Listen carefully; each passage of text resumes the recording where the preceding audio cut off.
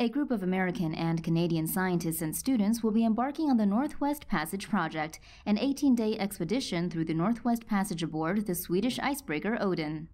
According to the project's website, the team will depart on July 18th from Thule, Greenland, and make its way to Pond Inlet, Canada. Afterwards, it will sail through Lancaster Sound to Barrow Strait and stop in Resolute.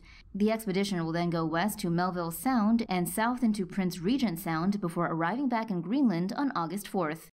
Led by the University of Rhode Island's Inner Space Center, researchers plan to collect seawater, ice, and air samples to make assessments on how climate change is impacting the Arctic. Instruments such as the Lowered Acoustic Doppler Current Profiler and the Current Temperature and Depth Profiler, or CTD, will also be taken aboard to measure the water currents in the Northwest Passage.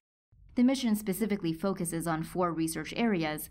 Scientists will gather data on water mass and circulation inside the Canadian Arctic archipelago and analyze how the water column chemistry affects greenhouse gas accumulation. They will also examine how microscopic habitats are transitioning because of climate conditions and monitor marine bird distribution in the Arctic region.